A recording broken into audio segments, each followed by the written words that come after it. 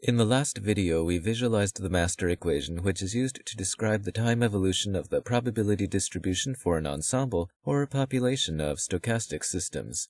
In this video, we walk through the stochastic simulation algorithm, which is used to calculate exact particular trajectories for individual stochastic systems. Here's one way we can organize a computer program. First, we specify the system we are trying to simulate. Then we use the current state of the system to calculate the duration of time that elapses before the next chemical reaction, and then we use the current system state to figure out what kind of reaction that next event will be. We begin by specifying system chemistry. In this example, we are inside a cell in which gene X can be transcribed to messenger RNA. The number of copies of messenger RNA in the cell is labeled XM. Messenger RNA can be translated to protein, and the number of copies of protein is denoted X. Messenger RNA and protein can both be degraded. To move this model from a back-of-the-envelope sketch into a computer, we use a state vector X. The first element of X is the number of copies of messenger RNA in the cell, and the second element of X is the number of copies of protein in the cell. In addition to specifying the system's immediate condition, we also need to specify the processes that can change the system's state. The column on the left organizes a list of familiar English names we use to refer to the reactions included in our model. These are transcription, messenger RNA degradation, protein synthesis, and protein degradation. To calculate average time rates for these reactions, we need to use parameters, and to specify outcomes or consequences for these reactions, we need stoichiometry. As an example, transcription corresponds to a change in messenger RNA copy number of plus 1, as well as a change in protein copy number of 0. Transcription corresponds to a gain of one copy of messenger RNA with the protein level left unchanged. Using the parameters and knowledge of the system's current condition as tracked in the vector x, we can calculate the average time rates for these reactions individually. These expressions might look familiar to viewers who have recently reviewed the video unit on the law of mass action. For example, look at the time rate for messenger RNA degradation. It is a product gamma r multiplied by x1, meaning gamma r times the number of messenger RNA molecules currently in the cell. This is just the law of mass action. It is a product of rate coefficient stuff multiplied against reactant population stuff. We have specified the system with quantitative detail. We can now use the current state of the system to calculate the duration of time that elapses before the next chemical reaction occurs. Label these average time rates A1, A2, A3, and A4. Think of these time rates as the efficiencies with which individual dice rolls, representing short steps in time, generate chemical reaction events along these four simultaneous timelines. The temporal densities of these yellow, orange, dark blue, and light blue reactions across these timelines together give the temporal density of any reaction occurring, as illustrated using pink explosions along the timeline at the bottom. The time rates A1, A2, A3, and A4 add up to give A0 the time rate of any reaction occurring. In this illustration, we have just made a subtle mistake. After the first reaction occurs, the state of the system potentially changes. Because the time rates A1, A2, A3, and A4, and thus A0 depend on the system state, the time rates can also change. It is not necessarily kosher to continue to roll the dice with unchanged weightings after the first reaction has already occurred inside the cell and possibly changed the cell's contents and thus reaction time rates. However, for the purposes of this video, pretend that we did not bring up this delicate point. Consider a population of cells each described by total time rate A0. All of these cells appear to roll the same dice, we are not going so far as to say that each outcome of each dice roll is identical across individual cells and across time. We simply mean that each roll has the same likelihood of producing a pink explosion as its outcome. Delta t labels a time interval of observation. Within a time interval delta t, some of the timelines from a population of cells will have reactions, while others will only have dice rolls that do not lead to reactions. The fraction of the population of cells that has undergone a reaction during a brief interval delta t is delta p any event roughly equal to a0 times delta t. The population fraction is proportional to the time rate a0 and proportional to the duration of observation delta t. To understand the factor a0, we remind ourselves that a0 is basically the average number of pink explosions expected per dice roll. For example, A0 looks like 5 pink explosions per 9 dice rolls in the timeline at the top. Roughly half of the dice rolls produce a pink reaction icon. The collection of dice rolls across which we count up reactions need not all belong to the same timeline. We can also look at the first dice roll from each of the timelines.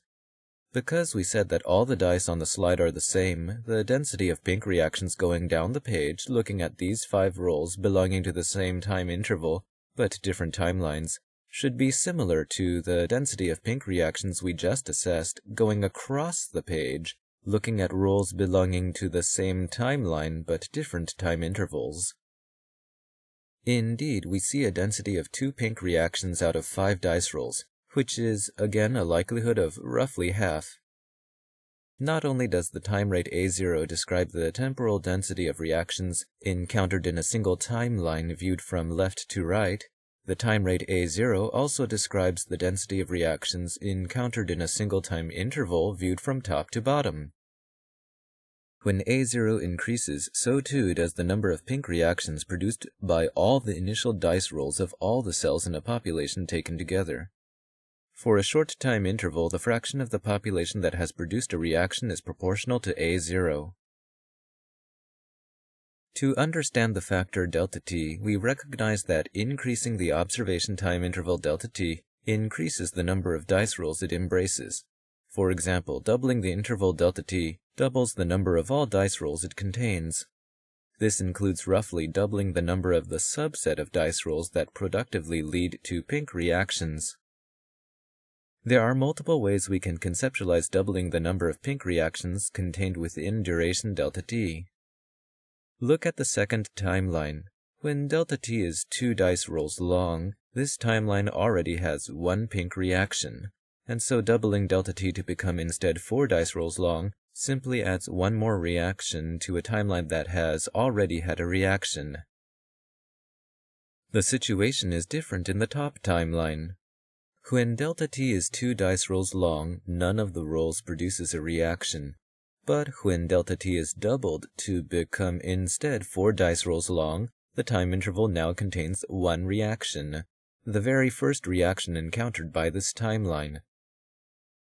For a generic value of delta t, doubling delta t will probably add reactions to some timelines that have already had reactions and add reactions to some timelines that have not yet had any reactions. However, in some situations, we might expect that increasing delta t allows delta t now to contain newly added reactions belonging only to timelines that already had reactions before delta t was doubled. And in some other situations, we might expect that increasing delta t allows delta t now to contain newly added reactions belonging only to timelines that have not yet had any reaction. These last two limiting cases help us to understand so-called long and short time intervals. For long time intervals, doubling the number of pink reactions embraced within the duration delta t does not practically increase the fraction of cells that have had at least one pink reaction. Most of the cells have already had multiple reactions. However, for extremely short time intervals, most of the timelines have had no reactions whatsoever. Within such a short time interval, some rare timelines might have one reaction, but it would be exceedingly rare and thus negligible for our purposes to find timelines containing multiple reactions. If the duration delta t is very short, then it remains very short even after being doubled, and so the fraction of the timelines containing multiple reactions remains negligible. This means that the additional pink reactions embraced must land mostly on timelines that have not yet had even one reaction. In other words, doubling the observation interval delta t doubles the fraction of the population that has had a reaction. Thus delta p any event is proportional to delta t. On this slide, we have stated that for short time intervals, delta p any event is roughly equal to a0 times delta t, and we have understood the way in which the factors a0 and delta t appear in this equation. On this slide, we have also made the same mistake we committed previously. After the first reaction occurs in a cell, the cellular state can change. Thus, it is not necessarily kosher for us to continue to roll the same dice again and again, even after a reaction has occurred in a cell. Again, for the purposes of this video, we will pretend that we did not bring up this mistake. The purpose of this slide is to show that the relationship delta p any event roughly equal to a0 times delta t corresponds to waiting times that are exponentially distributed. Consider a population of six cells, each described by total time rate A0. After a short interval of time, perhaps this cell retains its original state and fails to produce a reaction. In contrast, this cell might have undergone a reaction. The condition of having undergone any reaction is represented here using a jiggling blue icon. After a short time interval, some cells have done nothing. Other cells that together make up the fraction A0 times delta t have undergone a reaction. The four yellow cells illustrated at the second time step look the same as the six yellow cells illustrated at the left edge of the slide. The purpose of this kind of illustration is to suggest that a similar fraction of these four cells will turn blue in the next interval, and that we get a similar fraction in the next interval after that, and that we get a similar fraction in the next interval after that, and so forth. Using the magic of animation, we can generate an exponential decay. The durations of time that initially yellow cells spend waiting to undergo a reaction to turn them blue are pulled from an exponential distribution. Some cells wait longer, some cells wait shorter amounts of time before they turn blue. T0 is the average of a large number of durations that cells wait to turn from yellow to blue, and we use the Greek letter tau to refer to particular waiting times for particular cells.